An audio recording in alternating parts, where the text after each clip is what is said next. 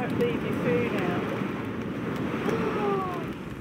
who would have thought these guys are into Jatz Crackers? Opportunists. Look at this one. Oh, hoeing in.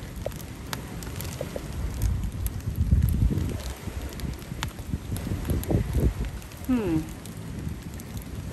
I guess somebody hadn't heard about don't feed the wildlife.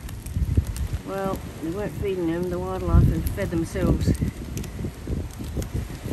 think this picnic table's actually deserted, but they've left a lot of whiskies and things here. But they're not expecting to come back to the Jatz Crackers. Buckleys. Look at these. Oh, tug of war, tug of war.